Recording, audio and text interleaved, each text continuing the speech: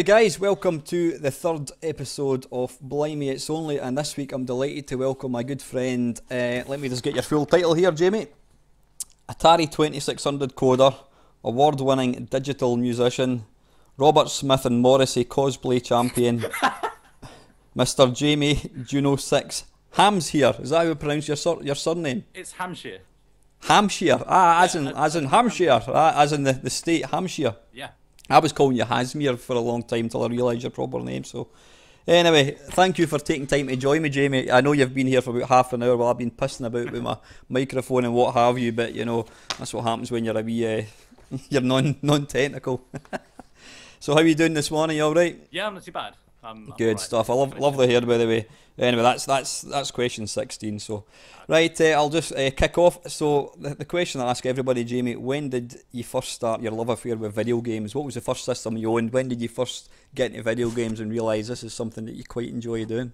Um, well, I guess um, I'd sort of been around them a little bit when I was eight or nine. I had like a couple of mates with um, Spectrums and, and stuff. Um, but I didn't, I kind of considered myself a bit of a late comer because I didn't get my um, first system until I was about 10, uh, which was an Atari ST. Was it? Wow, that's a good system to start with. it's a good system to start with. Actually, it's a bit of a lie because I had a couple of months before that. Um, I had a really uh, quite obscure system called a Color Genie, an EACA Color Genie. Oh, I remember um, that. now. I had from uh, it was second hand, and it, it was kind of like when I was taking an interest in computers. Um, one of the friends of the family said, "Well, I've got this old system in the attic. You can have it for fifty quid," and uh, it was this eight-bit machine, which kind of looked like it did look like um, a slightly larger C64, and uh, it didn't have any games for it. Um, and it's actually quite. Uh, it, it came from Hong Kong. No kind of, you know, no, no real kind of market at all for it. You can go and buy games for it, and it's actually quite a scandalous uh, thing. Apparently, that the company that made it were developing a 16-bit machine, and uh, the guy just fled Japan. No, just like fled Hong Kong one night, and no one knows. Like the whole the company dissolved because of that. No one knows. So was there not a lot? Of, no but a lot. There wasn't much support. I take it after that then. not no. really, no. So, No. um, but it kind of got me into programming because it just had basic. It's kind of one of one of those machines where you turn it on, you get a basic prompt, and that's all you had. And because there were no games, there weren't any cartridges or anything. You had to you had to make your own stuff. so I guess that was kind of an advantage. That was like pretty frustrating because everyone else was playing like Chuckie Egg and stuff, and I was there like drawing clown faces in ASCII characters.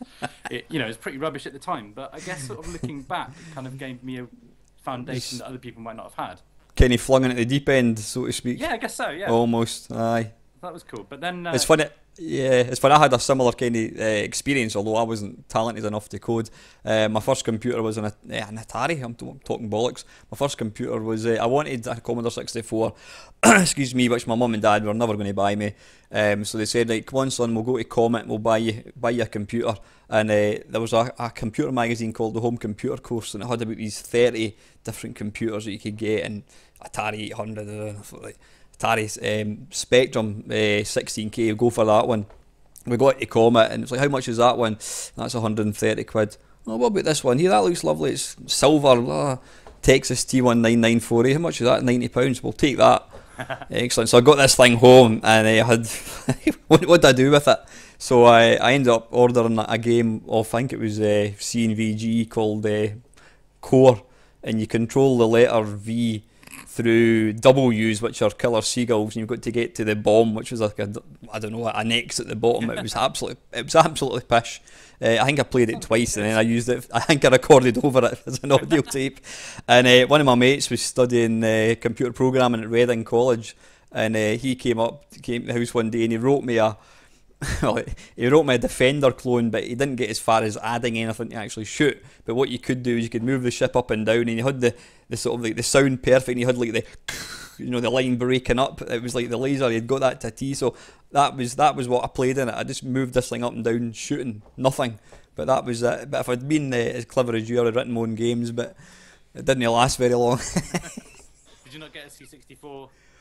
Um, I can't. Yeah, I, I think I remember seeing a C64 in the flesh, and I thought that's what I want. But my mum and dad, they, I mean, I was, uh, you know, I was what would I be, 16? I think I'd just started a part-time job, so I, I bought a C64 on credit. It was like twelve pounds a month. um, paid this thing up, you know. But that was that was just awesome, you know. So good stuff. So it was a, a Colour Genie was your first computer, then you said before. Yeah, a Colour Genie, and um, it was quite limited. Um, so uh, I remember seeing uh, an advert for the Atari ST um, shortly afterwards, and just thinking it looked so amazing. I can I can remember like the part of the advert um, that like really sold me on it. It was like this. There was like um, this alien eye on the advert, and it opened and closed, and I was like, "That's just like the coolest thing I've ever seen." So I've got to get an ST. And um, like my great grandmother had died, uh, and she left us 400 quid which was Oh. the, the price of an Atari ST. So it's Bless like, eh? oh, can have one of those? And, uh, and we got one, and um, and it was amazing. I remember the first game I booted up on it was Outrun, um, and uh, the only real experience I'd had of Outrun before that was every year when the fair came around. We didn't really have any arcade. Uh, I I come from a town called Tavistock, which is like a it's just like a Oh, right, yeah, yeah. market town. Um, so there wasn't really any there weren't any arcade you know, there, there wasn't like a. It's not like you know, Brighton or Blackpool where there were like arcades all the time. So I had to kind of wait Yeah. a year for like this duration of a week where I could just play arcade games for a bit. Uh, but I do remember Out- Outrun. So I remember um, seeing the Outrun disc that came as part of the bundle and sticking that in and thinking it was like. Thinking it was pretty rubbish. It wasn't really. It wasn't the best game to demonstrate what the ST could do. Aye. And even as as a ten year old, I could kind of figure that out. Um, but then, uh, but then I fired up a few other games like Bomb and Jack and Starglider and stuff like that, and, and I thought, Nice ah, this, is pretty cool. Yeah. Yeah, uh, it's funny you, you should say that. I remember uh, the first game that I actually saw in Atari ST. It, it was just a screenshot, and it was uh, it was international karate, and it wasn't international karate that was eventually released. It was actually it looked completely different. It had these big, colourful, chunky kind of sprites, and it was against like Big Ben in the background. Yeah, and I yeah. remember looking at this thinking. Fucking hell, this looks astonishing. It's like, you know, you're compare that with your crap that you were playing in the C64. but uh, yeah, and then I can always remember, uh, yeah, I mean, Outrun, I couldn't wait to get Outrun, uh, and I was gutted when, when it eventually came out. I thought, this is, you're, you're so wanting it to be good. And it, I mean, I was actually, I did a mashup of it recently, and it's terrible. All right. Oh, it's, I mean, it, a crap game's crap, even, you know, 20 years ago. But uh, then I remember getting, uh, sorry, I think you're interviewing me here. I'm getting carried away. Sorry, uh, um, what was the game? Starglide. I remember my mate, my mate's dad bought that, and you know, Starglider, ding, ding, ding, ding. I was like, whoa, this is like the computer's singing. It was just Yeah. awesome. Incredible. It was like it was science fiction. And I remember, like my my stepdad um, had um, his mate worked at British Aerospace, but he worked at British Aerospace as well, and his friend had an ST. And uh, I remember he like came home like a couple of months after I got it with just this like shoebox full of of discs, like you know, cracked compilation things like Medway Boys, Pompey Pirates, and that sort of stuff. uh, and there was like Star Wars and that sort of thing, and it was just, you know, it was, it was you know, it was a really cool cool time to get into it. I think. The first, Yeah. the first game that I bought for it was uh, Barbarian by Psygnosis. And Oh, the Psygnosis one, The Psygnosis one. Yeah. Yeah, that was. It was. It didn't play that well, but it just looked. I mean, you got this sort of bit at the start with the guy. The, Yeah. You get the cracky lightning and the you know the real real lightning sound. It's like wow, you knew the future had arrived. Yeah. Super. Anyway, listen, we're only question one. We better crack on. With, I'll not, I'll not tell you how many questions I've got. You can tell me when you've had enough. Superb. Um, right. Okay. You've probably touched on this already. Actually, number two. Did you think, like the rest of us, that interest would fade, or was this something you knew pretty early on that was probably going to be something that you were going to be into? Oh no, definitely. I um, You knew. I, I kind of like really found computers quite appealing even before I got one. I could I could find I was really into like two things I was really into in the 80s was computers and synthesizers, and I hadn't I didn't have either of those. I just knew that I really liked them. I really wanted to get into them. So um, yeah, I think even before I got the Atari, I was like, I'm well into this. And as soon as I got it, it just validated that that's that's how I felt. Yeah, so yeah, I knew it all along. Really, I think. You knew, and it's like myself. I mean, I can, you know, I, I can't see myself as long as my, my hands don't get arthritis and I can grasp a, a gamepad. I can't see. I can see me, me gaming at eighty five years old. You know what I mean? It's. Yeah. Uh, I just don't see myself ever growing out of it. But superb. The funny thing is, I've got a few mates that were right into it as well, and now they've got no interest. But Really strange one, aye. strange. But I suppose, yeah. I mean, have have they kind of why? I mean, have they got any explanation why, or have they just? Nah, they just, I mean, they, they, they just kind of moved away from computers and they got the, the you know, the, the, they got the Xbox 360 and that kind of stuff. But they're just, I mean, I've always just retained an interest in the early stuff, you know. It's, Yeah. uh, Yeah, same here. I mean, I, I like, I had a, a PS3 a few years ago, but now like the most modern thing I have is is um my MAME cab actually. Shall yeah, well, you got a MAME card now, have you really? cab. I'll just um. Oh, superb. Do you see it? Oh, very nice. Yeah, I got that from Lovely. A, a kebab shop. um, basically, uh, about well, it was about ten years ago now, actually. Um, Really? Aye. This kebab shop in town that um, had uh, cabinet in it, and I remember sort of walking past it. It was on on my way home from work um, that I saw it, and I was like, I really coveted it, and I really wanted it, and uh, and uh, I walked past them one day, and it wasn't there. So I was like, okay, well, I know the, I know the company that rented it out to that kebab shop. He he he just was a a guy in town who ran like this jukebox amusement uh, company. so I gave him a call and I said, um, oh, that arcade cabinet that was in the kebab shop, um, it's not there anymore. Would you be interested in selling it? He said, um, yeah, I spoke to you the other day and we agreed on a price of seventy quid, didn't we? And I was thinking, he's obviously thinking I'm somebody else. So I said, yeah, that, yeah, we did agree to 70 quid. Can I come and collect it? so, so I went up that evening. It was like, he only, literally only lived up the road. Brilliant. Had it there in, in his uh, like in his garage, and I, I managed to knock him down a bit on the price because the joystick was totally mashed, and the screen had loads of burning. You know, like the old games when they have like game over and insert coin on the screen like all the time, it just burns in. So I was like, well, the monitor's pretty crap. So he knocked it down to 50 or 60 quid, something like that.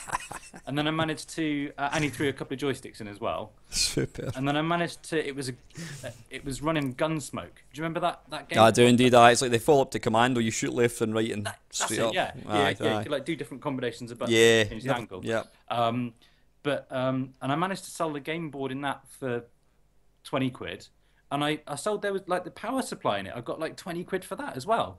So I basically ended up getting this cab for twenty or thirty quid. Um, and then I just stuck a PC in it, and I've had it for years. I've had it for about ten years now. And uh, Well- yeah, that's that's that's the machine that sees all the action. Now's your time to apologise to the guy that went to buy the cab and goes, well, man, I sold it to the guy like Yeah, yesterday. he's going to be watching this video, isn't he? Like going, "Right, I know who that guy is now. I'm gonna. Gonna put my hair- Sorry, I'll not reveal your I'll not reveal your address. We're okay. Superb. Okay, Jamie. excuse me. What is your favourite arcade game? Have you got a favourite? Um, it's difficult to pigeonhole yourself like that. I don't kind of, I don't really do favourites, but I suppose in terms of what I fire up when I turn the cab on, I think. Have you ever- ever heard of a game called Knights of the Round? I was actually playing it last night. Yeah, it's aye, aye, aye. It's a cap a Capcom sideways scroller similar to Golden Axe, That's right. Yeah. but you get to pick one of four. Is it three or four different characters? I think. Eh? It's um yeah it's it's based on the Arthurian legend of like Knights of the Round Table, which uh, Aye, aye. which is quite weird because that's based in well some people say it's based in Cornwall some people say it's based in Wales so it's actually not that far away from me but it's a game that's come all the way from Japan so it's like it, it's, it's quite weird to sort of be kind of fairly local to to the history of it. And um I don't I, I played it when I was 14 in Spain and I don't know why I like it so much. I kind of like it I don't love it but it's just kind of one of my go-to games when I'm on the cab. But it's got like it's got a really nice action to it. There's something about sort of having to I don't know if you know if, if you like press the sword button, he'll like just do like a normal sword swipe. But if you press sword and then hit the joystick, he'll do like a he'll do like a, an extra strong sword swing. All right, right, okay. you might, might yeah, want to try yeah. that, but there's just something Ah, about right. that action that, that just works really well. Aye, aye. But um, it's the thing is like when you've got a cab like that and you don't because I've I've just got it wired up to you don't put money into it. You just press a button to get the- Yeah, yeah. the the money in there. So it's like so easy just to like, uh, you know, you probably know you fire up a game for five minutes and just go, I'm not really into this. I'm just gonna bash, end aye, it," aye. Which you wouldn't do then you'd try and get your money. No, no, that's right. But now it's so easy just like stick cre- ten credits in and just like have a half-assed go on it and then give up. But I Mm-hmm, think Knights of the Round is the one that I really want to want to beat. I'll need to give that a proper try actually. Yeah, I was doing one of my go. one of my features where I basically play games. I think it was 1991. I was recording it last night, and I play like one game for. I play as many games as I can for like a couple of minutes, and that was one of them actually. But I know Yeah. it's 1991 seemed to be the year for sideways scrollers. I mean, there was just a million is it Cadillacs and dinosaurs and Oh, yeah, Captain Commando, and I think these were actually based on uh, books or comics. I think they were. eh? Oh, really? I think I'm sure Cadillacs and dinosaurs was based on a book. Aye, but Yeah. yeah, cracking games. Yeah. This was I'm sure it's the same game engine, and they just shoehorn Yeah, just different graphics. Yeah. Good stuff, right? Well, sorry, you, you've just told me you don't like favourites, but I was going to say here, if you okay, let, let's say the scenario is you're going to a desert island, you can get three video games to take with you, and that's the only games you'll ever get to play ever again. What three Right. games over any systems Any would you take? Wi-Fi is available as well if you want to play online Doom or whatever. It has to be three. No, yeah, whatever. I go for two. What have you. No, I'm thinking maybe six. five might be easier. I'll try and. ah, go. I'll give you two then. Don't say I'm not good to you. Okay. Well, I'd probably say um,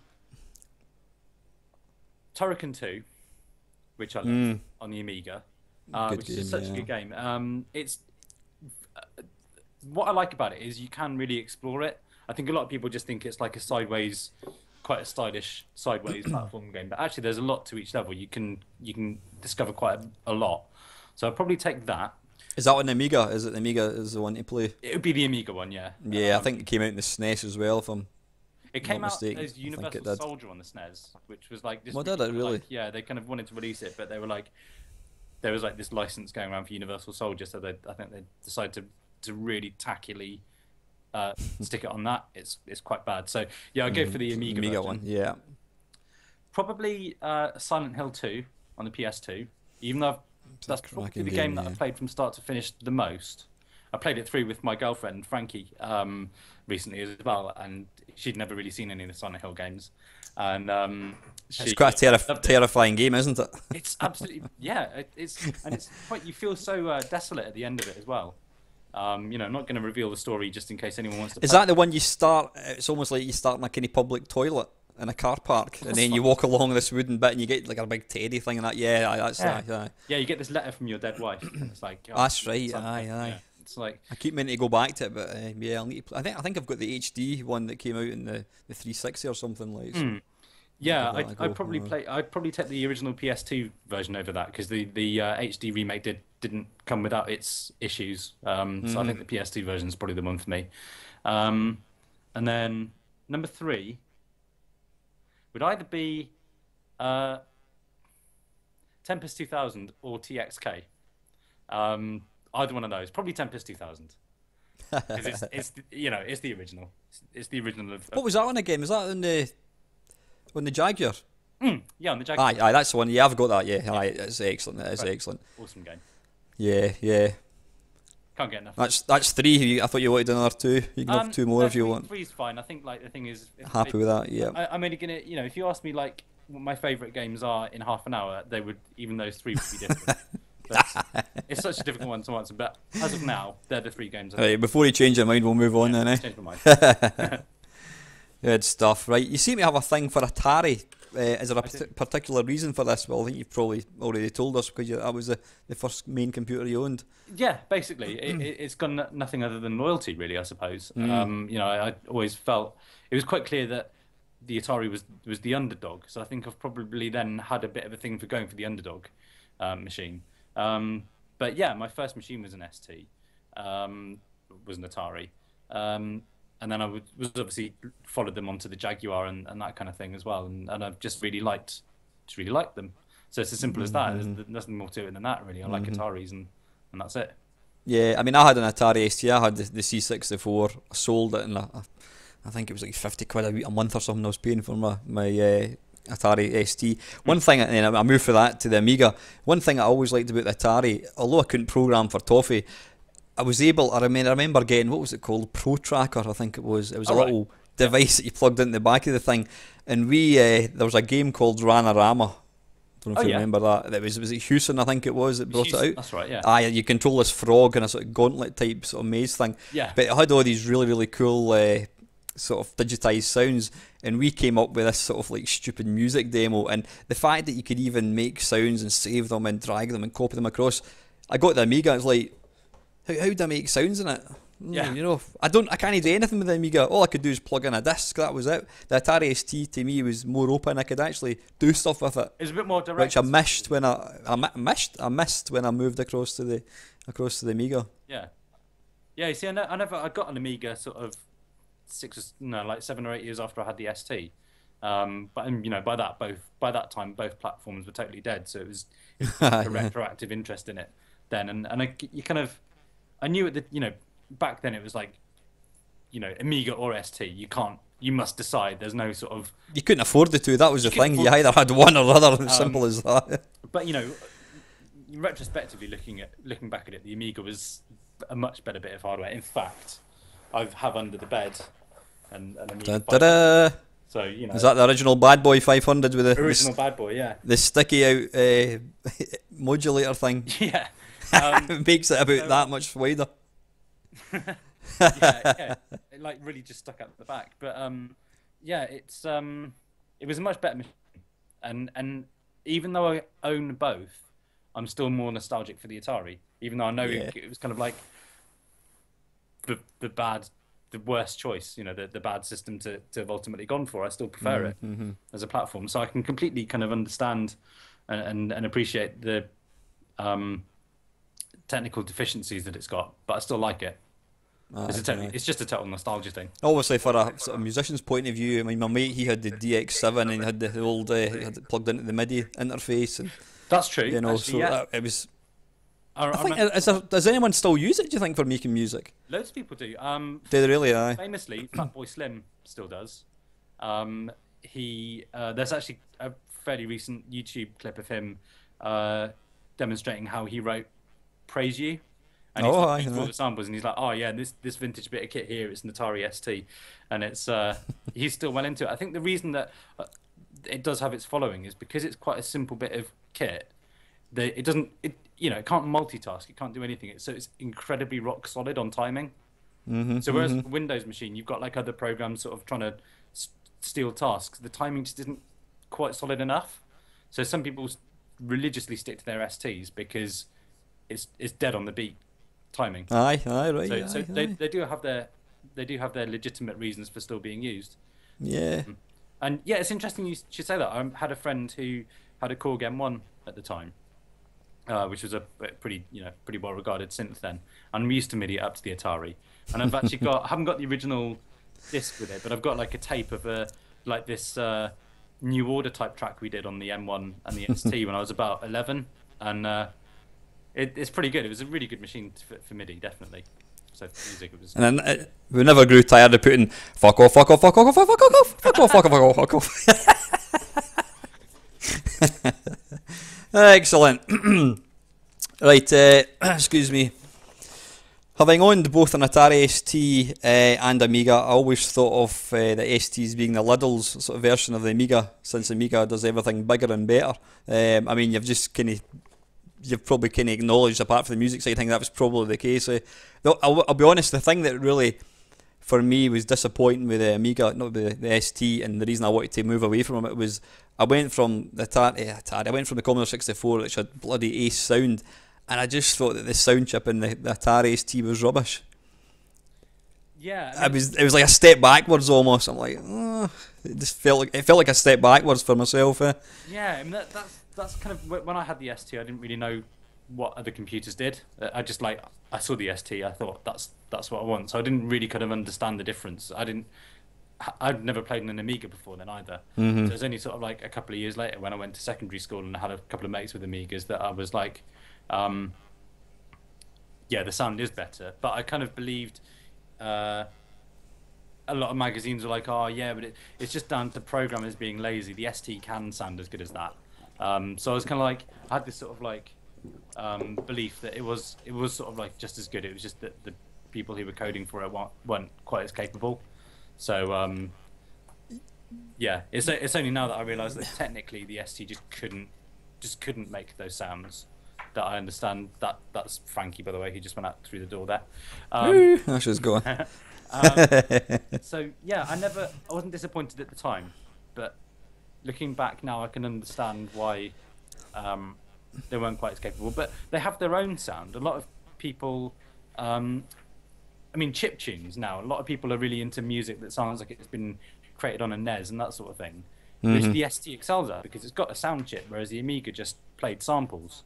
So Mhm, although mhm. technically you could get nicer sounds out of it depending on what you sampled, the Amiga never really had its own sound, whereas the ST did. Aye, aye, a distinctive sound. Yeah. distinctive sound, yeah. Um, and now that the whole like, you know, back then, like 25 years ago, we all wanted to make our computers sound like they were doing like a a, piece of music that sounded like a single in the charts. Now singles in the charts sound like old 8-bit computers.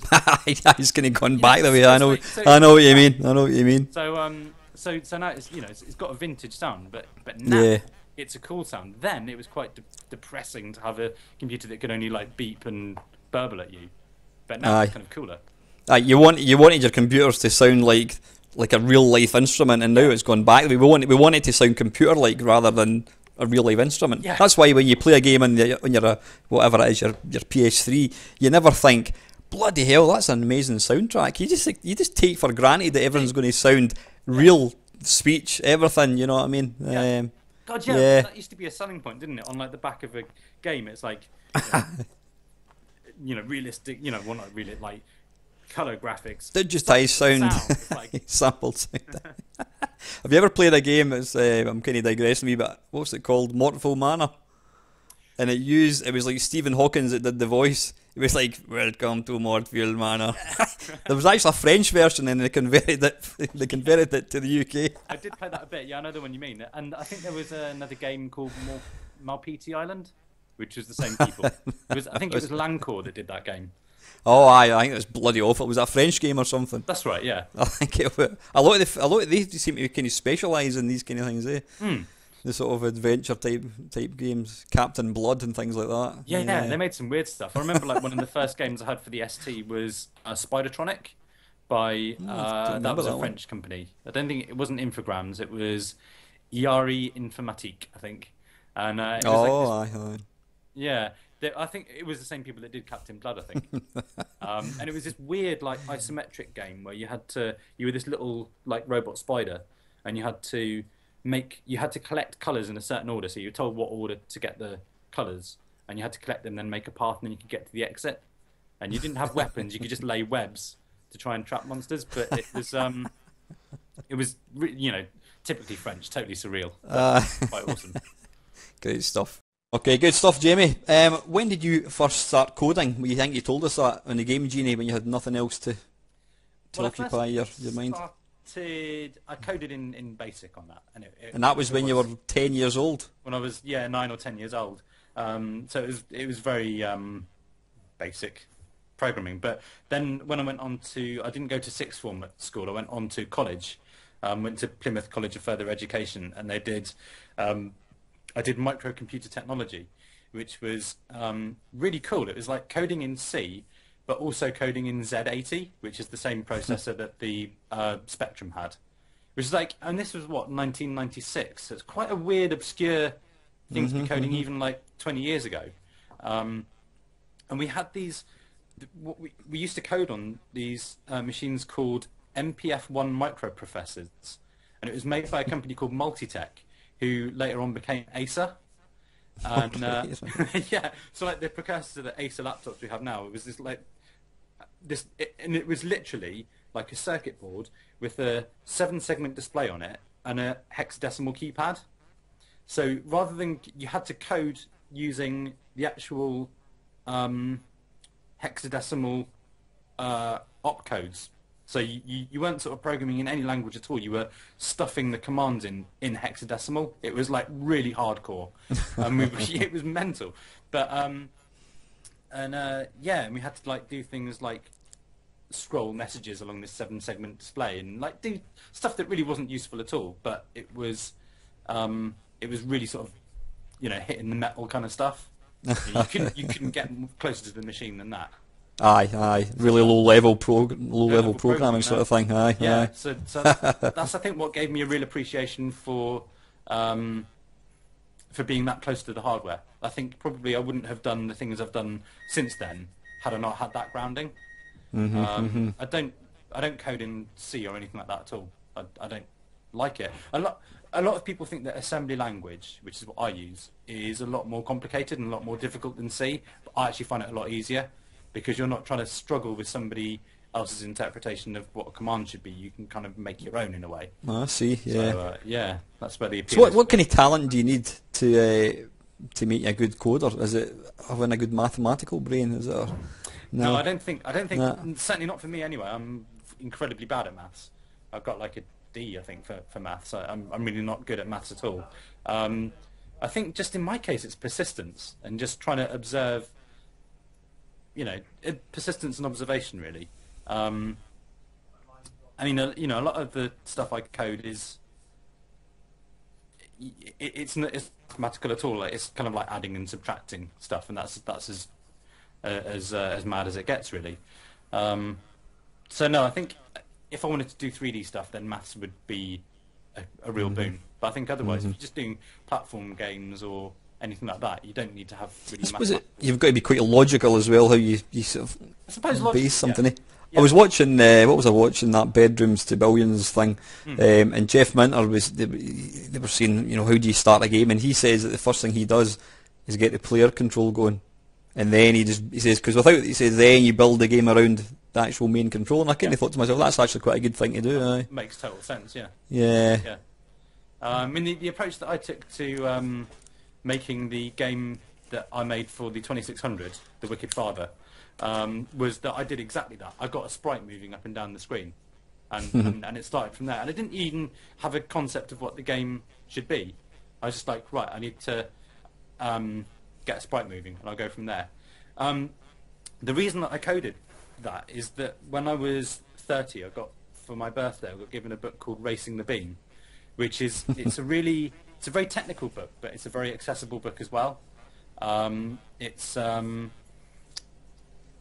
it explains how like the 2600, the Atari 2600, was only ever meant to have a uh, a market life of about three years. It was only Is that ever right? designed to sort of like be a stopgap between Pong machines and then the, the next thing they wanted to move on to. But it was actually like a really intelligent, well considered bit of hardware design. It was designed by the same guy that engineered the Amiga, so you can kind of you can appreciate J, is it Jay Miner? or Was it no? Jay Miner, yeah, Was it? Uh, yeah, and um, he, uh, you know, it's an incredibly low spec machine. It's got 128 bytes of RAM and 4K of ROM, so it's it's it's nothing. Um, like an empty Word document takes up more space than a, an Atari 2600 game. It's that mad. Um, but um, it went on to explain kind of how um, people were able to push the machine because of its simplicity. I think it, it wasn't um, because it wasn't geared to do a certain type of game.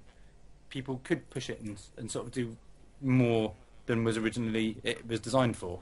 Um, so it, it dissects six games. I think like Pac-Man and Combat and all the the, the early games that came for the 2600 and really describes in detail, but without becoming boring or hard work, how it did it. I just remember reading that book. I got through it so quickly. I don't, I'm not a very quick reader, but I got through that book in a couple of days, and I, I was just champing at the bit to write a 2600 game. I So it was reading that book that prompted you to write the. yeah, I was The like, Wicked I Father, this. I can't. You know, I just really need to, to make a game for it. Um, so uh, yeah, and that's that's what I did. I got a sprite jumping up and down the screen. I didn't didn't have an idea of what I wanted the game to be. I just that, that's what I started with, and uh, it's cool. Good stuff. Brilliant. Uh, right, why, why, well, you've, again, you've kind of touched on this uh, with this one. Why choose Atari 2600, which I would imagine is probably one of the toughest machines there is, given it has less memory than, well, I've put in here than most uh, phone text messages. You okay, Yeah. chick? You okay, chick's probably got uses it more. Um, it was. Uh, I, didn't really realise what I put myself up against until I started coding for it. I remember sort of sticking up some. Um, I mean, the, the reason it was the, the 2600 was because of that book. If there'd been a book written about the Commodore 64 or something that was as Right. interesting as that book, I probably Mm. would have gone for that. So it wasn't uh, that I was putting myself up for a particularly different difficult challenge. It was just that that was the book that fired me up.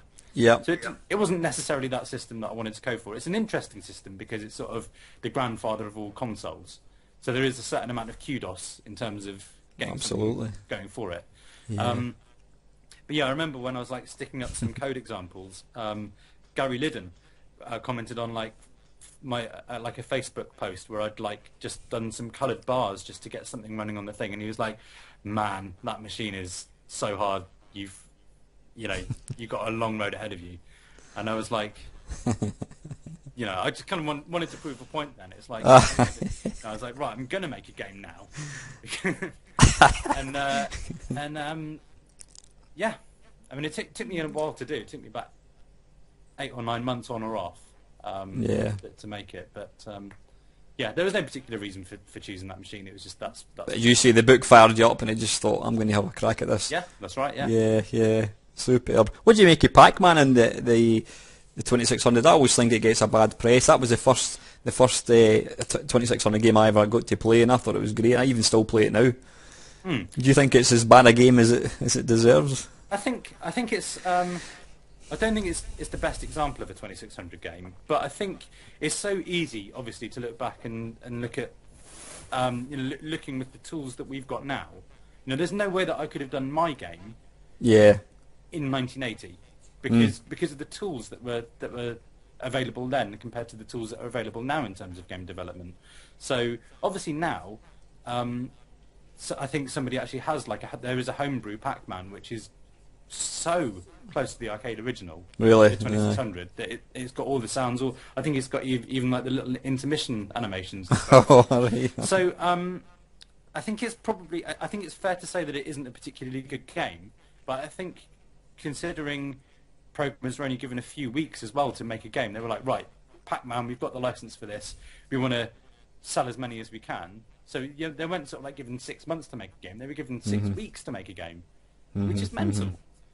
So I, I think um, probably they could have done better, but I think the pressure of the market and the pressure of I'm sure I read somewhere he coded it in something like two weeks or something. That was what, how long he, he was given to write the thing. Right. That explains a Yeah, I'm sure. Aye, aye, I know. I think the only thing that was you could probably say was rubbish was the fact that when Pac-Man moved up and down, he still faced either left or right. He didn't actually, and the ghosts flashed all the time, so it was virtually impossible to tell when the power thing had run out. Yeah, but I mean, the, the flashing thing isn't uh, isn't a fault of the coder. That's that's That was the hardware. Aye, yeah. The hardware just didn't support having loads of things on the screen at times. So you had to um, like interlace it. You had to yeah. So uh, that that's that's just a challenge of coding for that machine. Full stop. yeah, yeah. Yeah. Brilliant. So the Wicked Father. Now I was I do apologise. I actually mentioned that when I was talking about this in the the questions for yourself. I called it the Wicked Stepfather. I keep thinking you always think of stepfathers as being wicked. Um, so it was actually the Wicked Father. the I do Father, yeah. apologise. Yeah. Where did the name come from?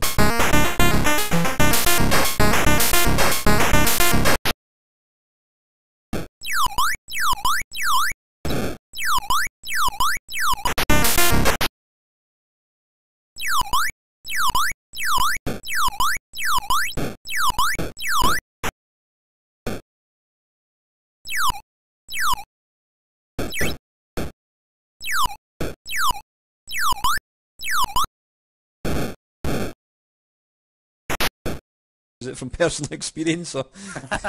um, no, it's actually uh, it's something that um, me and a mate came up with just about 15 years ago. I can't even remember. I think we came, it was like an idea uh, for a board game or something. It was just like a stupid name we, we'd given something. It wasn't even like a concept. it was just like a stupid name we'd given this fictitious thing, and uh, and uh, and the name sort of like came back to me when I was when I was coding. the what I tried to do, I don't. The, the, the game that started me that I tried to mimic first is there's a, a game. Uh, it's just a flash game on the web called Puzzle Farter, and you know this little duck or this little bird. He looks a bit like Ed the Duck actually, and um, you have to fart your way up the screen. Like you, have, you have to hold down. So it's like a platform game. It's like a Uh, single static screen platform game, and you've got to like guff your way to the top of the screen. So I was gonna. That was what I was originally going to do. I was just trying to replicate that game, and then and then like this idea of having water rising came up, and I was like, ah, that's like quite a cool, you know, quite a cool thing to put in. And then and then like this whole backstory just started to develop in my mind. Like you're this you're this like horrible monster of a man who's insured his house and he's insured his family, and then he's put them in the and like he's just going to get fat, juicy insurance payout, and um, and and there's I think because of that there's there's like a moral aspect of the game that I kind of wish people would pick up on, but they kind of haven't. In that you you can't stop that happening. You start the game at the moment after that that's happened. You start in the basement and you have to climb your. so surely like you're playing a villain. You know, there's there's nothing you can do about it. So surely like, the best thing to do is start the game and then leave the controls alone and let him drown, because otherwise you're just like you're just taking part in the crime. people didn't, you know, people didn't really pick up on that. and, uh, I feel quite sad, but um, yeah. But you have to. The thing is, you have to give people a reason for controlling this monochrome eight by eight pixel sprite. You can't just yeah, say, yeah. "Oh, this is," a, you know, you have you have to make it interesting. That's why a lot of the um, art on the game boxes and stuff with like these really like detailed airbrush drawings of like you know if you if you look at the box for like adventure on the 26th, this is like really scaly dragon and, and like this guy with a sword and a shield and stuff and like you play the game and you're a dot it's just like a big duck but, um, fucking terrifying it used to go yeah. just kind of come down the screen at an angle yeah so yeah that's idea yeah good stuff um, I've probably I've been here. Uh, it's probably up there as having one of the darkest storylines of any video game I've ever actually had the pleasure to play. It's kind of survival horror, I suppose, isn't it? In a way. It is. It's survival horror in the 2600, aye. Yeah. But I think the fact that you've used, I mean, I'm going to touch on that in a second. You've got the cute little sprite, so you kind of want to save him because he's quite ugly, but he's he's quite cute as well. So, yeah. Um, right, I've got in here. I don't mind admitting that mastering the swimming technique is a bit of a bitch, but persistence does pay off. So, what's the technique to kind of? You've got to just keep pressing it, you know, time in the press? Uh, so, sort of. I mean, the, the disadvantage was it is a it is a really difficult game because I was the only person playtesting it. I didn't have like a team of Aye. people that could like play. I, you know, I, I was playing it. I was getting better at the game. So then I was like making it more challenging because I thought oh, it's just going to be too easy otherwise. But the technique with swimming is that I think a lot of people just think you just got to whack the button, and and then that's that's it. But if you're on the bottom, if you're if you're like on the surface and you're in the water, then hit the button like mad, and then as you're getting closer to the top, just start slowing down on pressing it. And when you're actually at the at, at the level of the water, you can just bob up and down on it just by pulsing it every like half a second or so.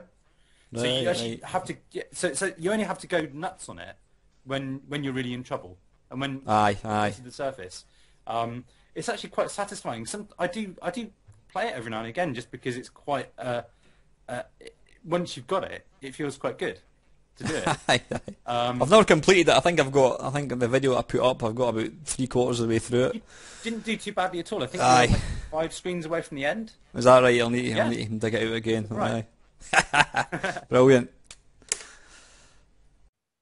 Hey Jamie, what uh, what equipment?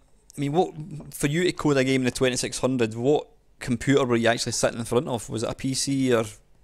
It was uh, an IBM ThinkPad running Ubuntu. So there's nothing, you know, nothing special about it. Um, it's just a just a you know standard laptop. So, Um, yep. And in terms of development environment, I mean, there there are all sorts. There's actually like a version of Basic, which you can make 2600 games with. But my personal limitation was that I wanted to make it in such a way that there's no reason why it couldn't have been developed back in the early 80s.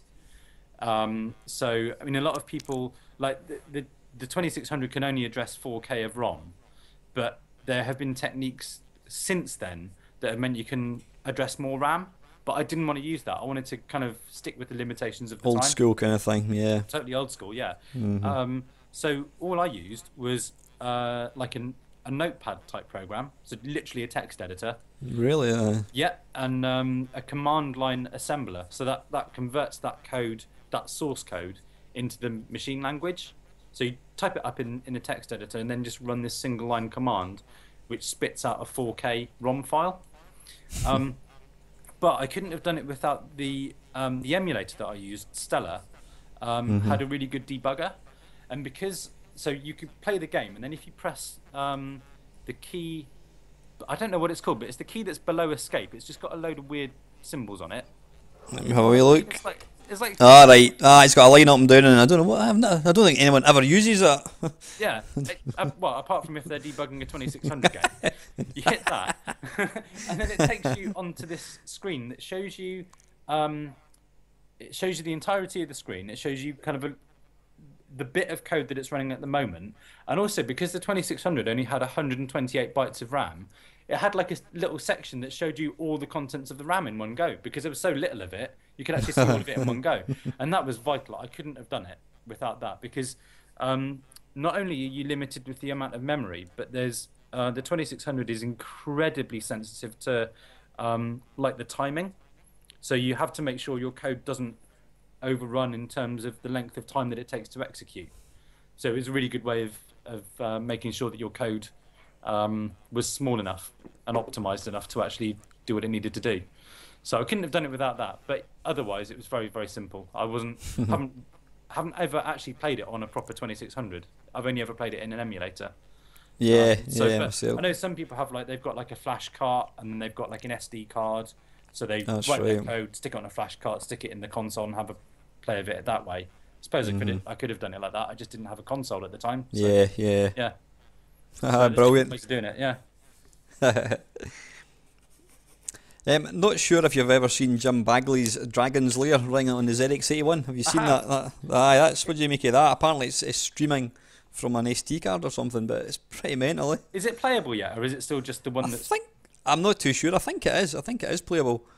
It's it's an amazing. It is an amazing achievement, absolutely. But I think the whole streaming thing um, isn't exactly true to what the original could, hardware was. ah, you couldn't run it on that 30 years ago. Yeah, yeah. Yeah, exactly. So like you've got Yeah. the ZX81 hooked up to like a 32 gigabyte SD card. Mm-hmm.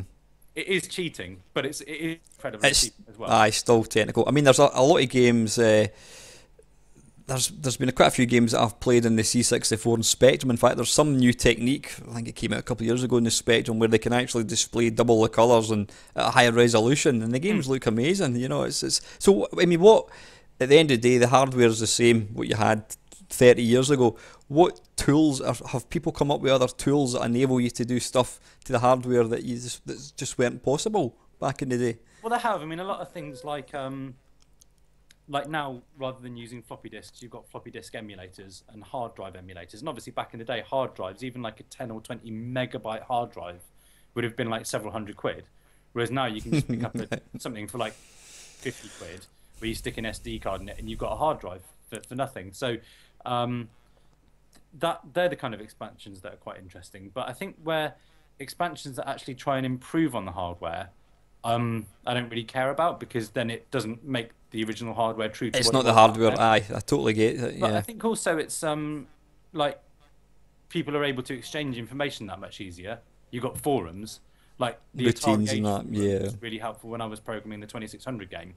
So you've got that exchange, people talking to each other and saying, well, and and the passage of time as well, people discovering more optimized ways of doing stuff as well. So I think that's the most exciting thing, rather than bolting on bits of extra things on the hardware to make it do, Mm-hmm. is actually just discovering more about how the original hardware works. aye, the aye, it that way. That that's what appeals to me, definitely. Mm-hmm. aye. You're really pushing the hardware at the limits as opposed Hmm. to just rather than trying to push it, you're just expanding the, the original hardware, which is kind of not not really Yeah, the point. Yeah, exactly. totally, Yeah. totally get it. Brilliant. Um, right, we're already just touched on that one. Um, what what do you think? In fact, you can talk about this from a personal point of view. What do you think is the appeal of people working on obviously very limited hardware? I mean, why not just bring out a game on a PC?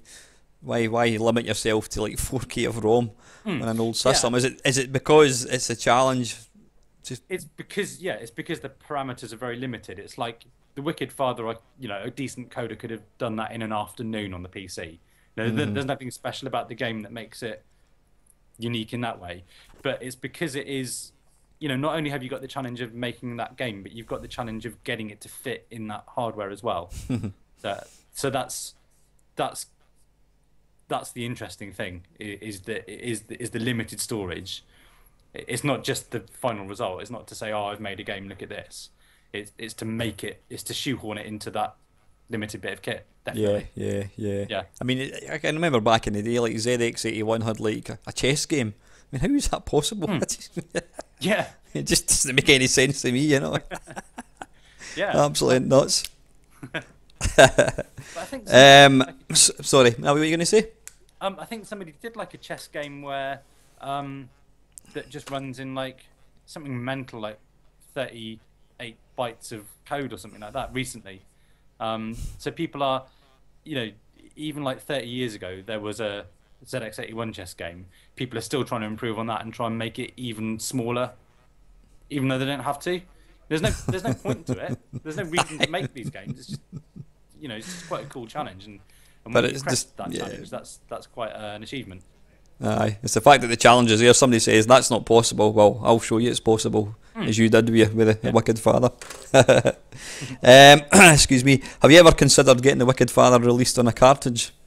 I have uh, actually. And I'm sure it would Um, probably sell by the bucket load. Uh, I mean, it's. I don't think it will because um, when I really yeah, I mean you, you can on Atari Age. There's a store where you can get cartridges made up, and it's quite cheap. I think you you can either do like a run of 25 cartridges, or you can just do it as people order it. You can get the cartridges made up. Mm, right, just right. When.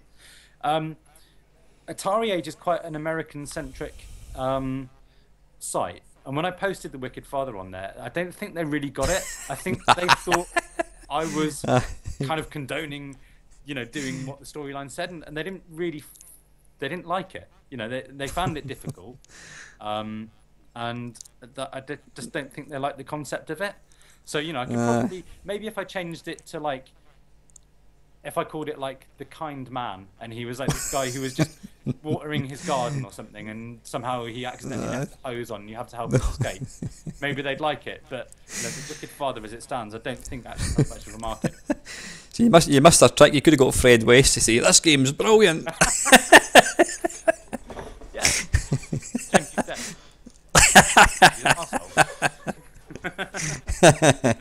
I can't ask that one because somebody else has asked that one.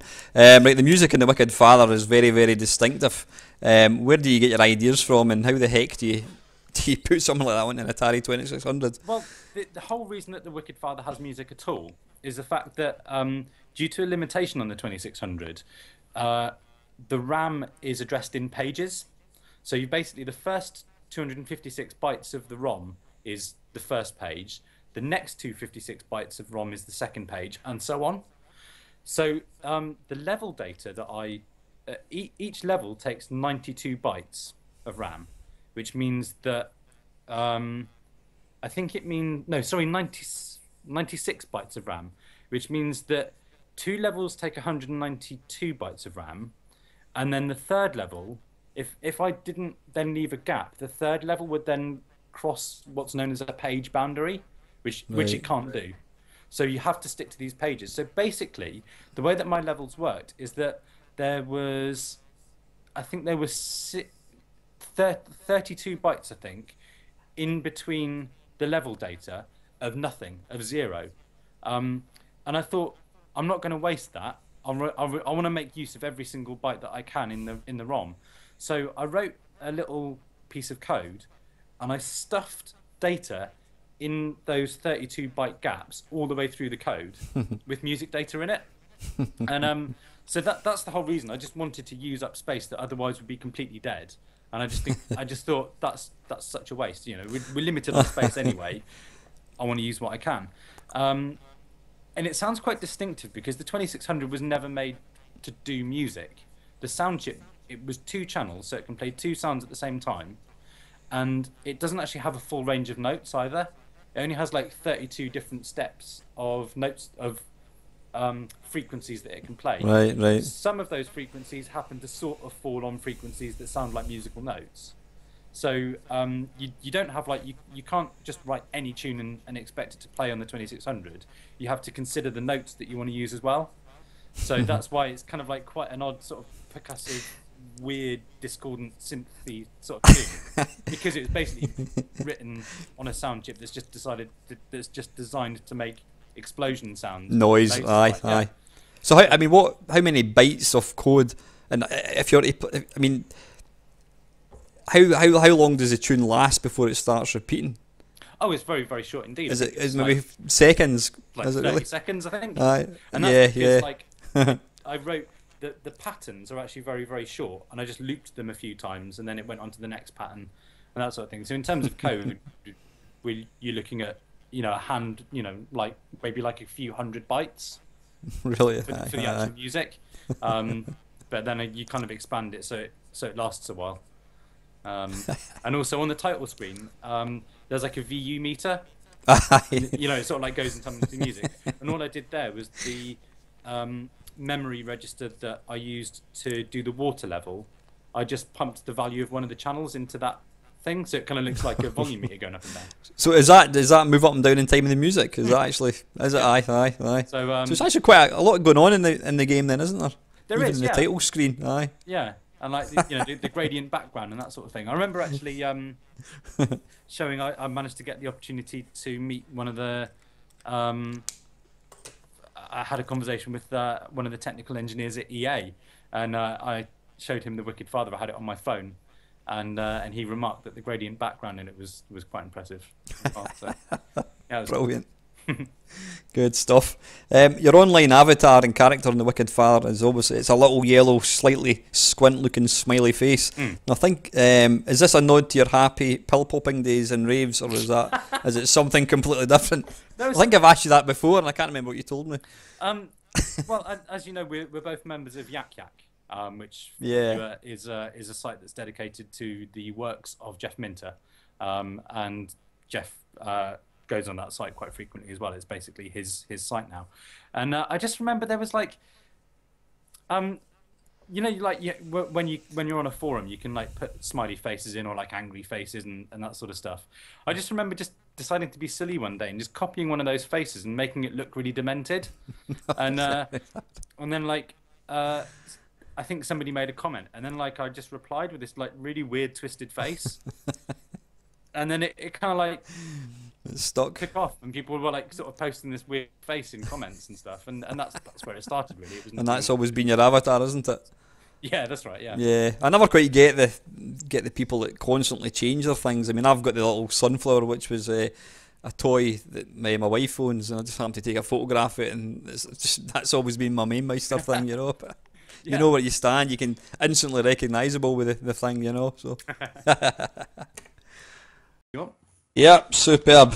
Right, Jamie, I've made no secret. I always love your awesome hair. Uh, I'd love to have had a hairstyle like that back in the day, and even now. Um, how many cans of hairspray does it take on a night out? Usually.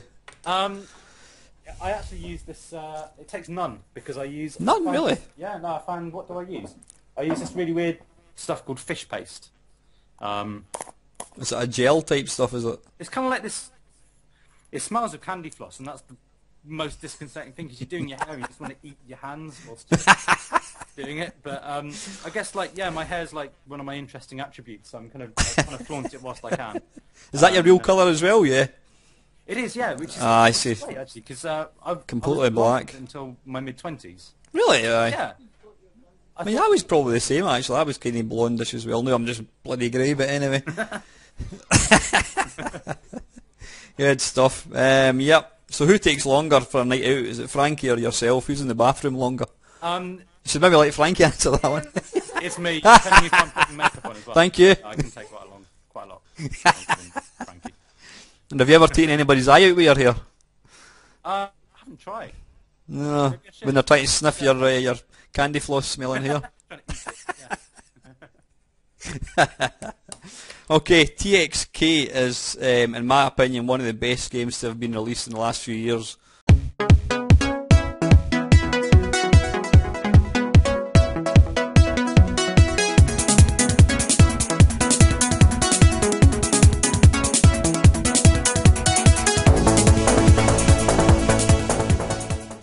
Over anything. It's an absolute awesome game. How did uh, how did you get involved in writing one of the, the tracks?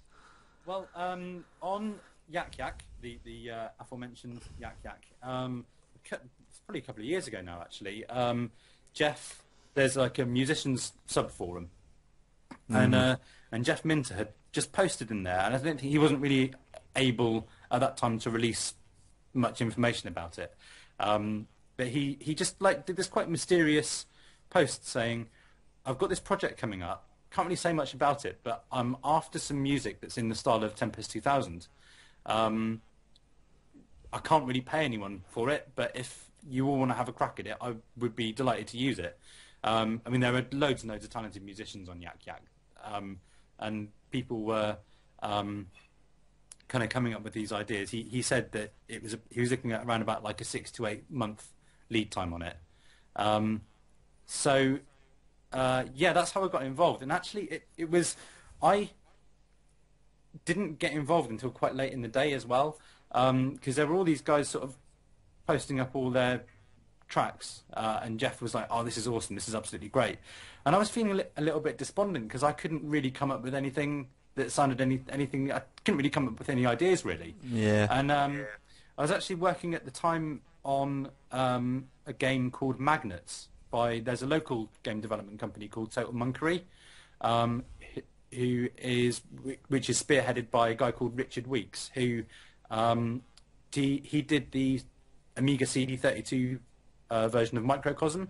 Don't if you remember Microcosm. Yeah, I did. Yeah, like yeah. shooter with with FMV video, and um, so I was actually working on some music for that, and there was just there, there was just one tune that was going to be one of the boss tunes, and it didn't quite work. It was just like a little bit too heavy. It was a little bit too sort of like in your face, um, sort of techno.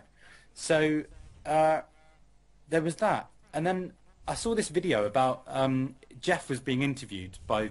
Uh, I think it was maybe this some sort of like official Sony PS Vita channel, and it was like it was Jeff Minter in like one of his like llama jackets, uh, no, llama jumpers, and this like scruffy beard, and uh, in this like really ritzy looking studio, and um, being interviewed by by this uh, you, you know this this quite attractive young girl asking him all this stuff about TXK, and she was like, "Oh, and the music's really good. I had a go on it before, uh, before this interview, and the music was amazing."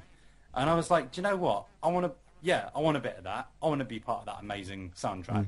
So I took this sort of half-complete track, and um, added a few more beats to it and uh, a few more synths and stuff, and I was like, "This is pretty good. I think this is going to fit quite well, but." It needs something else, and if you remember in Tempest 2000, the original Mind's Eye track has that that vocal hook in it. Uh, Television is the retina of the mind's eye.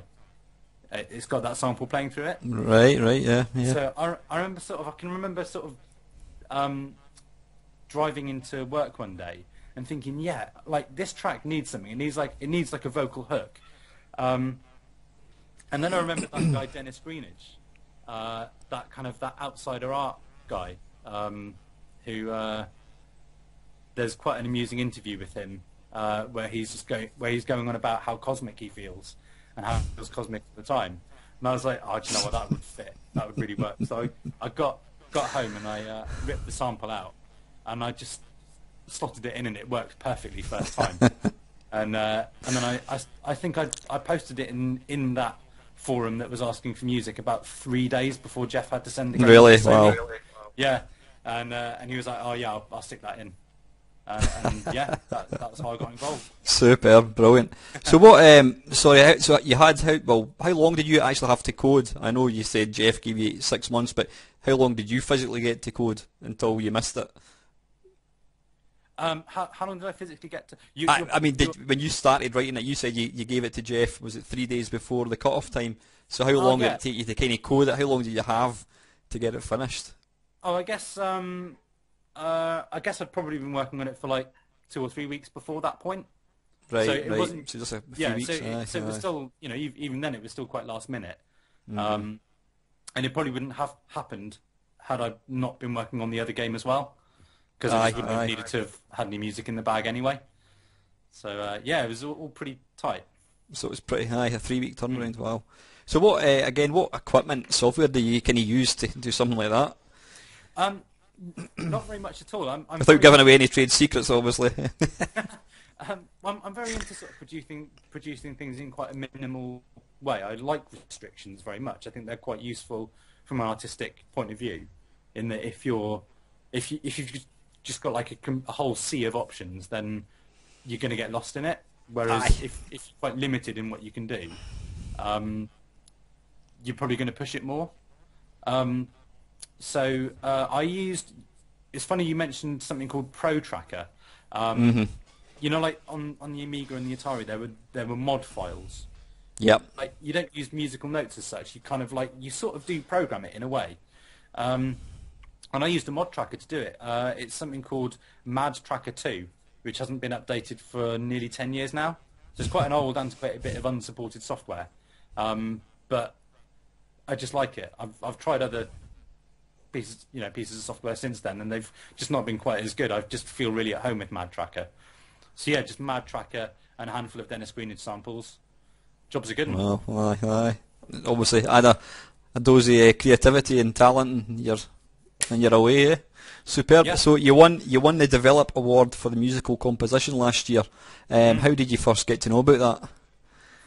Right. Um, I knew that I was up for a develop uh, nomination because um, a guy called Dave Oldcorn, he goes by the name of Dio, um, Yep. had submitted it. He was he was a fan of the, the track, so he's he was like, okay, well, I'm going to submit this to the Develop Awards, and I, I would, didn't really know what the Develop Awards were. I know that they, I knew that they were kind of like a fairly well regarded um, award, but I, I didn't really understand how big it was. And the first I got to hear of uh, possibly winning it was I got an email from Jeff um, saying, um, I've just heard from the organizer of the Develop Award and uh, they really want you to be there on the night. And I was like, you know, obviously they couldn't say you've won, you've got to be there, but they were like, you know, we, we want you to be in, we want you to be there. And it actually just so happened that the um, I'd looked at the cost of uh, the Developer Awards. Ha- to, to buy a seat for uh, the Developer Awards was 239 quid. So it's not that you just rock yeah. up and you get it. You have to pay. So it's like it's obviously this this big industry thing where you've got big companies paying for seats and and uh, getting their name out there. Um, and it just so happened that like a few months before, I booked a ticket for a Pixies gig uh, at the Eden Project in Cornwall, which so hap- just so happened to be on the same day as the Developer Awards. so I emailed Jeff back and said, um, like, I don't know if I can go because the seats are quite expensive, and I've already got this ticket to the Pixies to see the Pixies, so I'll have to think about it. And um, the guy obviously Jeff then relayed that to the the guy who'd got in touch with him, and I had an email from this guy Michael uh, straight back to say, um, no, you really have to be there on the night. um, if I can waive the cost of a seat, if I can waive the 239, Will you be there? you Get yourself to Brighton. Can you be there? And I was like, The penny dropped at that point. kind of, yeah. I mean, I had to like obviously I'd like bought tickets for me and Frankie to, to go and see them and stuff, and I was like, oh, I, I, I think I should go. I think I should go there. And Frankie was a little bit disappointed, but uh, I think she she could understand why. But yeah, she, she's a very supportive uh, person. So um, yeah, she she uh, she was. Okay. Just as well you won then, eh? it's just as well I won. You'd yeah. have been And, you'd have been screwed if you hadn't. Brilliant, well done. So was there how many kind of people um, were in attendance? I mean, how many people are you talking Oh, about? Hundreds. I mean, it was like it was at the um, the Brighton Metropole. Uh, the, sorry, the the Hilton Metropole in Brighton. So it was a really ritzy uh, hotel, like right on the seafront. And um, I was amongst gaming royalty, like um, Frontier Developments were there. The the guys doing Elite. Um, loads of uh, you know lo- loads of high end names um, were there, and I would probably say yeah, there, there probably was 150 people, uh, 200 wow, people. Which you know, if you think it's 239 quid a seat, that's you know Yeah. not a bad deal, So- is it, really? so when you won it, did you have to go up and did you have to make a speech and did you thank your mum? I take it. Uh, No, I didn't thank my mum, but yeah, I did have to go up and make a speech, and um, yeah, it's kind of like I, I, sort of wasn't really prepared for it. Um, I should have been, perhaps, but it went well, and like um, I managed to blag myself into like this th- this after drinks party, like the after show party drinks, which was brilliantly three doors away from my hotel. I couldn't planned that better. so I was just able to like at 4 a.m. just stumble back to my hotel and go to sleep, which was great. And um, and um, yeah, like um, the guy that organised it came up to me and said that was a really brilliant speech because I was, you know, I said how much of a fan I was of Jeff's stuff and how it was a real privilege to be, you know, involved with one of his games and also the category that I won was it was the first time they'd awarded that award. Yeah, yeah, so it's I was, unbelievable. you know, yeah. able to say that it was a real privilege that I was the first one to um, to win the award, and um, I got to shake hands with. You know, the, the after party was really cool because I got to. I was just like standing around talking to one of these guys showing off the award, and Gary Bracey of Ocean was just sat stood next to me having a fag. So I just like turned to him and I was like, "Can I shake your hand, Gary?" It's just like it was mental. It was pretty nuts. Oh, well done. Excellent. Okay, I would uh, term myself, I wouldn't say a hater, but I dislike techno rave music with an absolute passion. But I've got to say that the, the TXK is a permanent album in my car. I mean, if I can turn it up loud, boom, boom, it's brilliant. I absolutely love it. Um, you know, I really, really love it. I think, uh, how, how can I put this? Back in the day when I was a C64 man and, you know, you were in your ST, it was just like mind blowing when you Jean Michel Jarre and Depeche Mode, all these kind of bands were really big. And there was a, a character called the Mighty Bog, Graham Marsh. He was a, a coder on the C64. He brought out the Mighty, Mighty Bog album, and it had stuff like Big in Japan, um, Howard Jones, Marillion, and it was like the C64 version of these these these songs. And I, I mean, I used to sit and just listen to these and sit and reading Zap magazine, listening to all these tracks. And then as things started to move on, I always remember going into the local computer shop, um, and it was uh, a song called "Is It Foreign Affair" by Mike Oldfield, and I'm like, "Where's that coming from?" And the guy's like, "Oh, look at this." He was an Atari dealer. He was an Italian guy called Riagostini, um, and he had this little shop, and it was all Atari stuff. I mean, he had like Atari 800s back in 1979, you know, and they were like a thousand pounds. But he said it's coming for this thing. It was like an Atari 1040 ST, and it was like how's that possible? You know, and it was just mental. So then, as things moved on, you you would you would think to yourself that that game's got great sound. Listen, wait wait to wait to hear the the lightning effect. Oh, that's brilliant. Now we're just used to the realistic sounds, and now. So I, I would never ever think of. I mean, I know you can buy like Final Fantasy X soundtracks. I would never dream of putting that one in the car. But now that we've got this indie scene popping up, music we're starting to get what you call chip tunes. It's now starting to go back the way to we we want our music to sound like computer chips rather than the real thing. Um, you know, so I, you know, I love that aspect of it. And I think the TXK soundtracks kind of like that. But saying that, I think you could probably quite happily release the TXK as an album and put it into a, a rave, and people would dance to it. I mean, it's that good. Yeah, I think uh, you know. I think that's um, what we built on in terms of the Tempest 2000 soundtrack was very much like that. um, you know, the original Jaguar game, in, in that it it was kind of. I think when Jeff got a tape recording from the guys that did that soundtrack, he couldn't actually believe that it was just coming from a computer. He was like, This "Is Yeah. this what it's going to sound like in the game?" And they were like, "Yeah, that that That's it. you."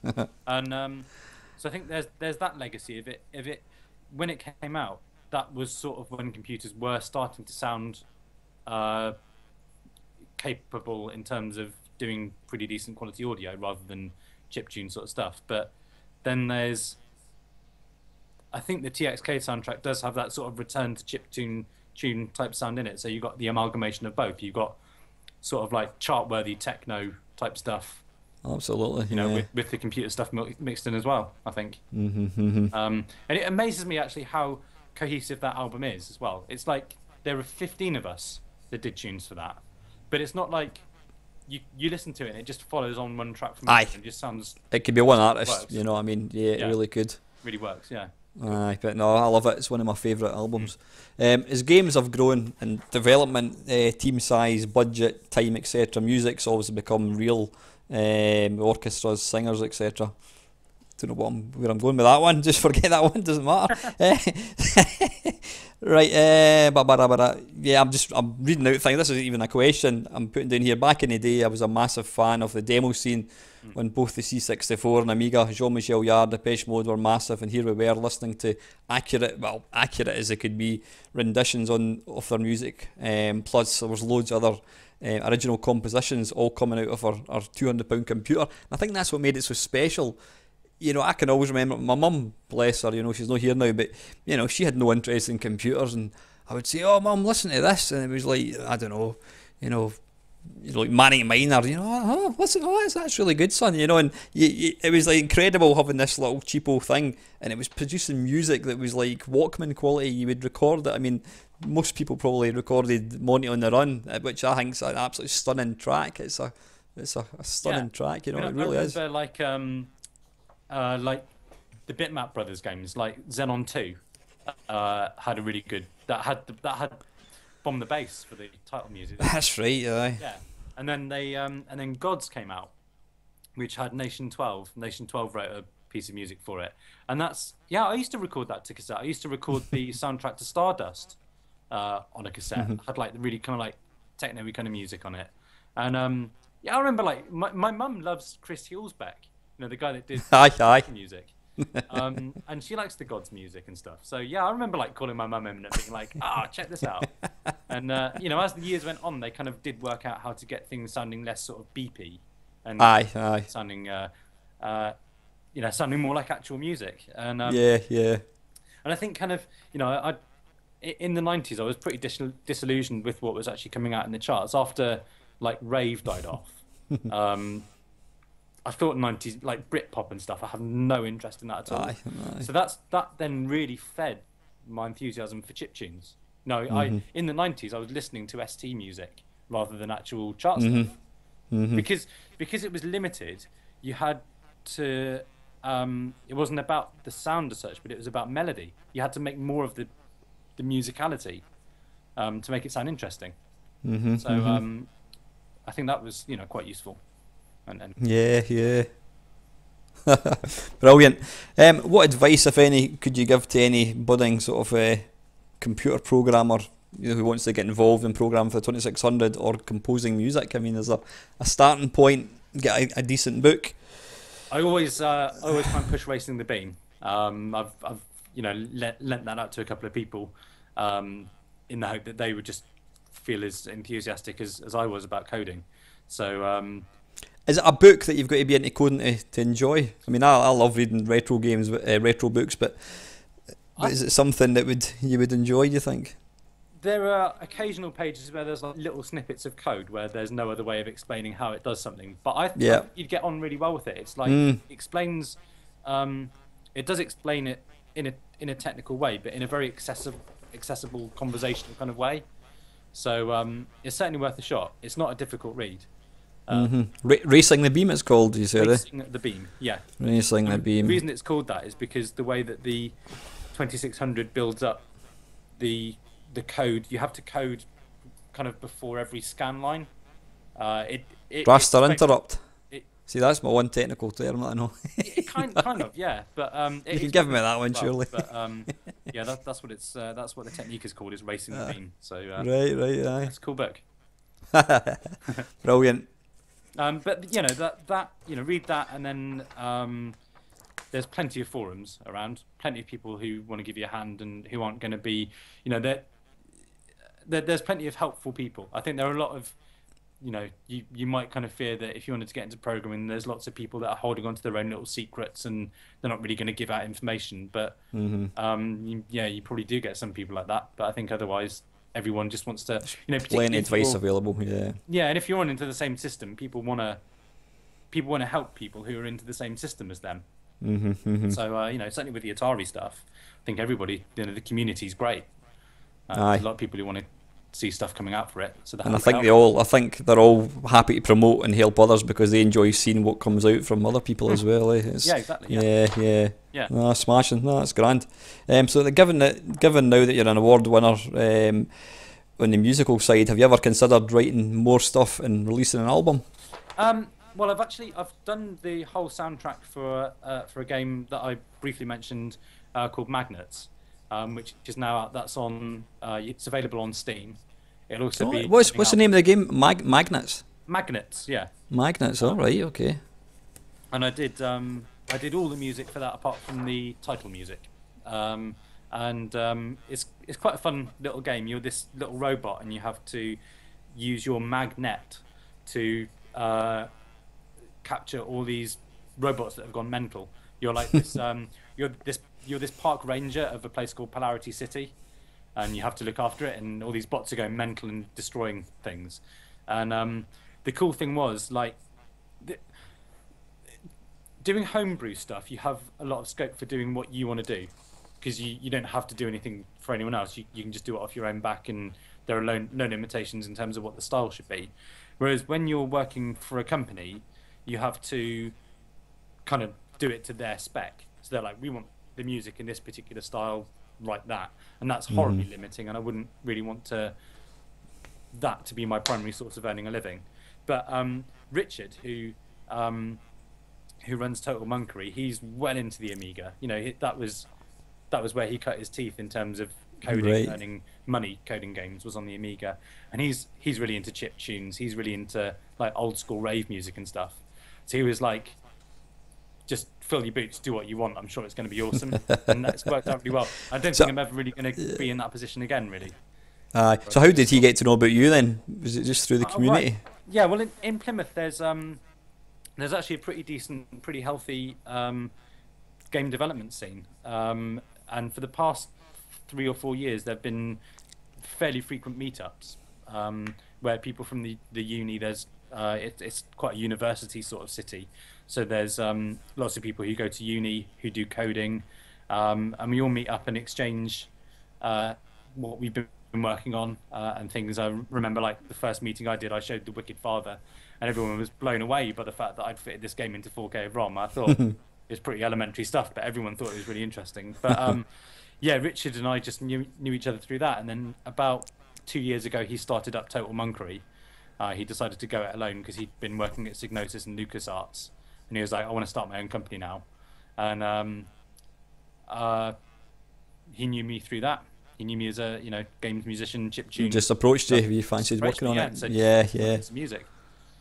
So yeah, brilliant. So you've not got any aspirations to actually release an album as such, or I think we, we're probably going to release um, a Magnets album. So so the soundtrack for Magnets will be available to buy.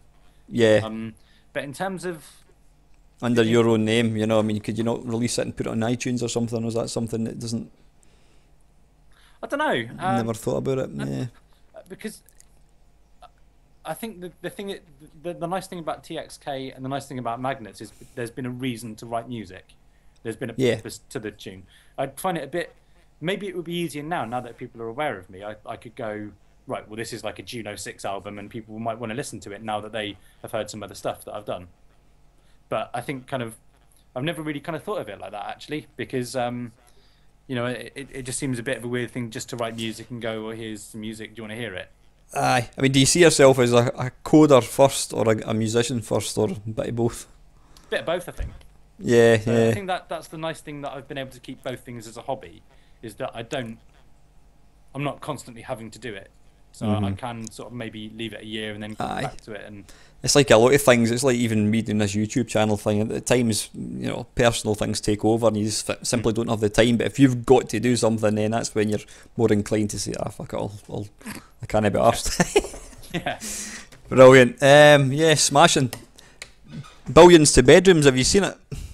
uh, bedrooms to billions. Yeah, I had. Whatever it's Yeah. called. What did I write? Billions to bedrooms. that's that's the sequel. Sorry. yeah, bedrooms to billions. I can edit that bit out. Nah, I'll no bother. Yeah, have you seen it? I have seen it. Yeah, I uh, I backed it on Kickstarter, and I, I went for the um, extended one with all the different. Aye, I've got that as well. The forty quid one. Aye. Yeah, yeah, the forty quid one. Yeah, um, and um, it's Would you make it? really interesting because it's great to have that perspective of, of what it was like back then. But I think because I came into it in the 16 bit days, the 8 bit days aren't all that relevant to me. So I'm kind of looking at all Aye. the games coming out and I'm like, it's really cool to hear all these guys talking about it, but I don't I don't really feel associated with that. Yeah, yeah. Great documentary, but have you seen they, they are doing an Amiga one? Amiga one. That's what I heard which I'm, about that. Yeah, oh, I'm really yeah, to see. That's coming yeah, out. yeah.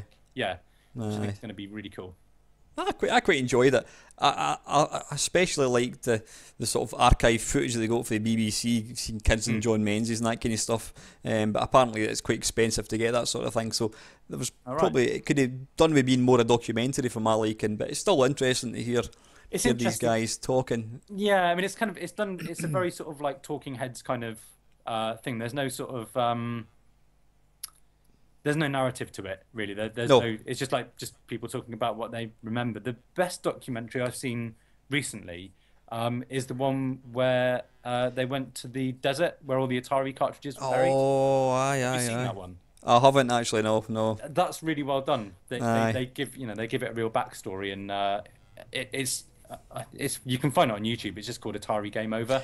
Oh wait a minute, was that the one that Paul linked to? I think it was, and there was a bit of banter on Maybe. Facebook for Yeah, it. I think yeah. it was, and it was in two different parts. Ah, I actually meant to kind of download that and watch it. Yeah, I'll need to no, check that that's- out, aye. well, yeah. Yeah.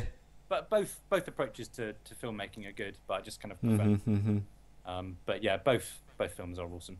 But there's loads of those kind of films. Have you, have you seen World 1.1 or World World, World, World one one point one, or one No, one just- one something like that? That's another good documentary. one point. Never even heard of that one. Was it World one point one? Well, World One Dash One. You know, like on Mario. Ah, right, right. No, I, I can't even see. I've heard. What, what is that about? Um, I think they're probably planning it to be several documentaries. The first one was just about Atari, um, and uh, it doesn't really reveal anything. You know, if, if you're into the scene, you probably read into it and know about Atari anyway, so it doesn't really kind of tell you anything new. But it just tells you it in a quite an interesting way, and you do pick up. A, you know, it's just quite nice to hear the stories. You know, firsthand rather than kind of reading about them. You, you, Yeah, yeah. like, um, the whole thing where like Atari was sold off to Warner and then the video game crashed and that sort of thing. But you're hearing like first-hand accounts of it. Right, right. Cool. Yeah. Have you ever seen? There's a film I've got. I can send you a link to it. Yeah, I can upload it. It's basically they, they go back to the Amiga offices after it's kind of closed Oh, down, um, and they've got the camcorder and they're going round. In fact- in fact, I think now they're talking to different people. This is such and such. And have you seen that one? Um, yeah, it was it was one of the guys. It was Dave Haynie, wasn't he? He just like went around with a video camera. Aye, yeah, Yeah. yeah, yeah. And, That's uh, pretty cool. Ah, and like yeah, they're just like having a go at the guy who was running Commodore at the time. And they were just like, there's this bit at the end where they're they're around a campfire or something. That's right. They're Aye, just singing aye. a song about like how they completely mucked it up. Yeah, that's brilliant, but quite sad. as well. It's probably like the saddest It is. thing I've seen. Aye. Like one of the employees making it. Yeah, and you see like the big warehouses. This was filled to the the, the gunnels with you know Amigas and that kind of stuff now, Hmm. And it's now totally empty. Yeah. Uh, brilliant. Excellent. Well, listen, uh, Jamie, thanks for that. That's the end of the questions I've got. You'll be delighted to hear. Um, I've just got a few from a few of the guys. Uh, Mr. Uh, Paul E. Morris, uh, E. Moz, you may have heard of him. He's uh, asking, do you feel cosmic all the time? All the time. I feel cosmic all the time. And then he's asking a question here, which I was wanting to ask, but I've had to score it out uh, so I don't steal his thunder. When's The Wicked Father 2 coming out? and can I get involved? Can I get involved in the playtest? And I'd love, playtester, I would, yeah. abs- I would absolutely love to, mate. Seriously, I know we've spoken about that before. Well, it's interesting you say that because actually I am um, I am picking up coding again, and I'm trying to code for the uh, STE, which is like the slightly enhanced ST. hmm Um, so I um, could very well. I'm, I'm probably will be looking for uh, something to code for the ST. I'm, I'm just sort of like getting to grips with the hardware at the moment. But yeah, who knows? So it's on it's on the back burner then. It's, Absolutely, yeah. Watch this space. Brilliant. Good stuff. That was uh, what Paul was saying. I've got a chap, Simon, is asking. He's collecting for the 7800. Uh, why bother coding for the 2600 when the 7800 poses the same challenges with better results? Hmm. Um, I mean, I think you- I, I kind yeah. of bothered because I felt, um, you know, as I explained before, that the just the book that I happened to read was very interesting and just made me want to, to to get involved with it. I'm not sure if it has the same challenges. I think the 7800 is more of a capable system. It's got more. It's the same music channel, I think, though, hasn't it? I think it has. It's got You're identical actually, music. Yeah, yeah it's the same sound chip as the 2600, but a lot of the time they would stick a, an extra chip in the cartridge that you could Ah, that had right. better sounds. But um, I think I think the um, it's more of a coup to, to make something for the 2600 because of its um, significance. You know, it, you know, the 2600 is like it birthed Yeah. everything, whereas the 7800 was like Atari was already going down the pan by that point and Aye. never really took off, and it, you know, it was wasn't really that, you know, that much of a popular system. So I think that's probably why. Um, I wouldn't be opposed to the idea, um, Mhm, but mhm. may, maybe just not for now. Maybe maybe in the future I might. What about the ZX81? You're fancy having a crack at porting the Wicked Father to that? Um, I don't know, you know, whether you know if I can maybe make him, uh, if I could make V shapes and equal signs and exclamation marks uh, into a playable enough game. You never know, I might. I was thinking you get some, you could stream some video off an SD card or something. That would look really good. Brilliant. Um, right, he's asking here, what hidden gem games wise are there for the 2600? Is there any particular games Um, that Well, I you you like playing? yeah, like I had a 2600 for a year or two. Um, when I was about 13, I just I bought one for a fiver off a off a mate, and um, Fiver, but yeah. five um, pounds. Dear me. and um, there was I think that came with a stack of games, and the game that I played the most was an Activision game called Frostbite. So I think in terms where, where you were kind of like it was kind of a little bit like Frogger, um, and a little bit yeah, kind of a little bit like Frogger, I guess. Um, that was cool. I always put a lot of time into that, but I think actually now there are um, there's still a, a really active scene. It's not just me that's coding games for the 2600. People Yeah. are coding stuff all the time, and and um, things like a really arcade accurate version of Pac-Man. Um, there's also there was a guy that did this game called Ninja Jump, and I think he did that. This is like really recent. This is like the last month or so, and um, he only did that in a couple of weeks as well, and and that I think is going to come out on cartridge.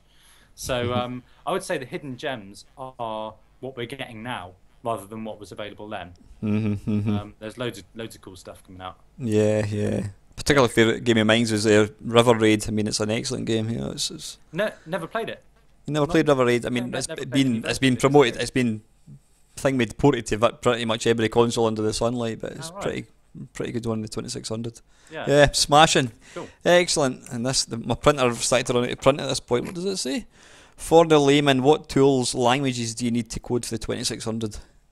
Well, again, um, you you can pick up basic. There's something called Batari Basic, um, where you've got kind of like quite a comfortable developer environment, and you use sort of more English language kind of words to to make the game, which which just you wouldn't have ever had back in the day.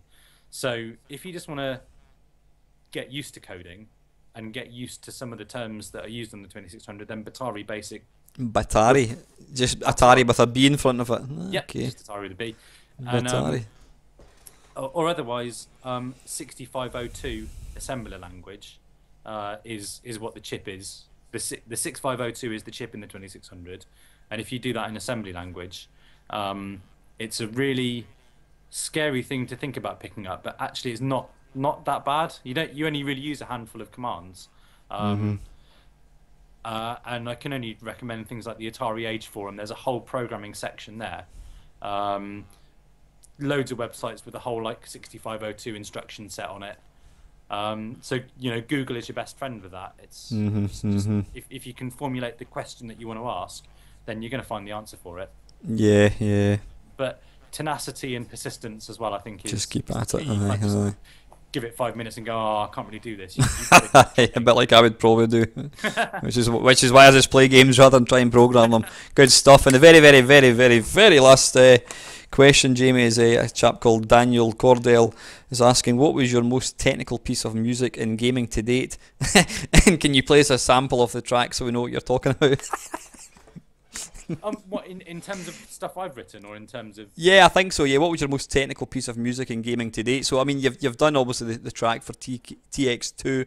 You've also done multiple tracks for uh, Magnets. I mean, what Yeah. what's been the most challenging? the most track. challenging has been the Wicked Father because Oh, to really? Ah, of course, I'm completely forgetting that one. Yeah, Aye, aye. because I yeah. had to fit it in. You know, with, with with the TXK and magnet stuff, I was it was just like synthesized stuff running in you know software on a modern computer. Whereas on the 2600, it was I had to count the bytes to make sure it fitted. So uh, yeah, in terms of musical achievement, it's embarrassing, but in terms of technical achievement, it's the most That's- challenging. Yeah, Yeah, yeah. yeah. Brilliant. Well, listen, Jamie, that's it. That's uh, it's probably about. I would say it's almost two hours worth. Two I- I, probably, I think we've ran over by about an hour. I, I, I do apologise. it's been hugely entertaining. It's been a joy to, to speak to you, um, and thank you very very much for taking time to, to speak to me. No problem at all. Okay, thanks very much, Jamie. You All take right. care now, eh? Take care. Cheers, buddy. Cheers. Bye. Yeah.